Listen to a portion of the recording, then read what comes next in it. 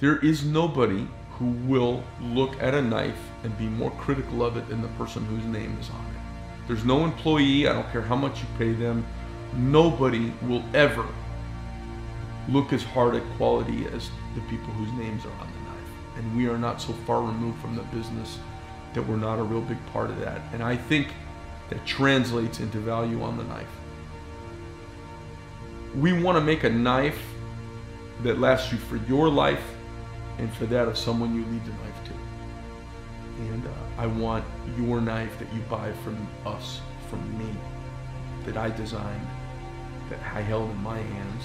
I want it to go through your hands to someone you love when you're done with it. Know that that quality goes with it that whole time. It's not a temporary thing. As temporary as we all are, the knives are not temporary. They'll be here long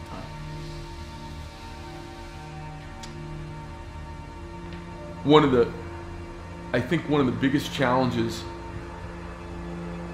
new people have with knives, new to the high-end American-made knife scene, is the money. They're expensive. They cost a lot of money.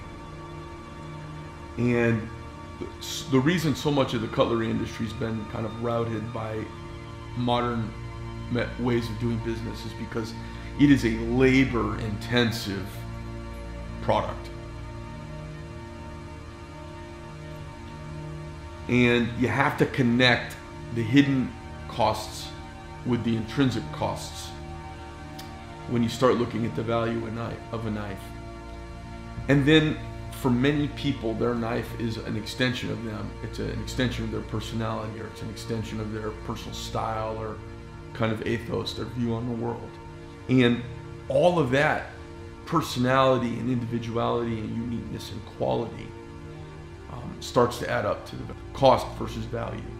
So when people are used to the regular world and they get into the knife thing a little bit, if you haven't done that sort of uh, lifestyle purchase, you might not get it yet. But you get at some point in your life where you, you buy a lifestyle thing and all of a sudden you go, I get it. That's what it's about.